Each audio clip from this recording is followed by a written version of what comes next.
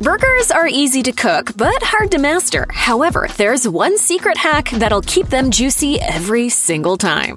Ask five people the secret to a great burger, and you will get five different answers. Some will say it's the type of meat you choose, which is no doubt an important factor. High quality meats will obviously make your burger taste better than lesser cuts. Others will tell you it's the amount of meat you use to make your patties. Making them too thick or too thin can have a serious impact on how they are cooked. Of course, the secret may also be in the seasonings you use, or adding a bit of butter to your patties. Some will tell you that the type of pan is the secret to the best burger, or whether each patty is well done or medium rare. No matter how you cook yours, there's one very cool trick that will mean you always keep your burger patties juicy. All right, everyone, chill. MasterChef judge Graham Elliott recently explained to Fox News that the secret to juicy burgers is something that you can find in just about any kitchen regular ice cubes. According to Elliott, you simply make your patties as you normally would, then put a single ice cube in the center of each one and fold the meat around it. When you grill the patty, the melting ice cube keeps it from drying out by distributing more moisture throughout the patty.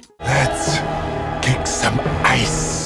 The great thing about using an ice cube is that it's made of plain water. Therefore, it won't impact the flavor of the seasonings you use in the patty. It's also readily available. The downfall, though, is that most ice cubes tend to be a little thick for the average sized burger patty, so you will need to make the patties thick enough to wrap around the cube. If the patty is too thin, it will lead to a deformed shape as the cube melts and the meat cooks. You can also just place your patties on the grill and place an ice cube in the center of each patty, pressing it down gently. This means you can make the patties as thick as you want, since it keeps you from having to fold the cube into the meat. Then you just cook the patties like you normally would without the risk of deforming them.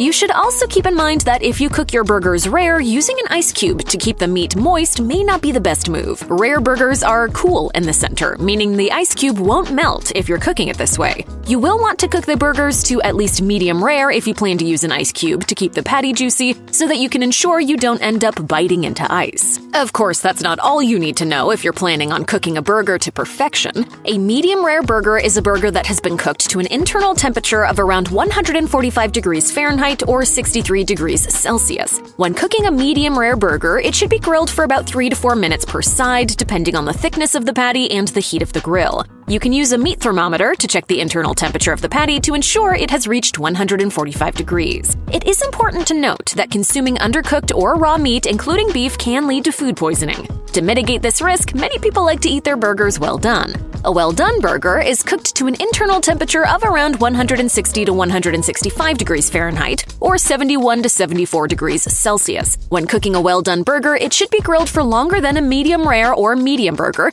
usually around 5 to 7 minutes per side. Once the burgers are cooked to your liking, remove them from the grill and let them rest for a few minutes before serving, and presto, you've rustled up a tasty burger.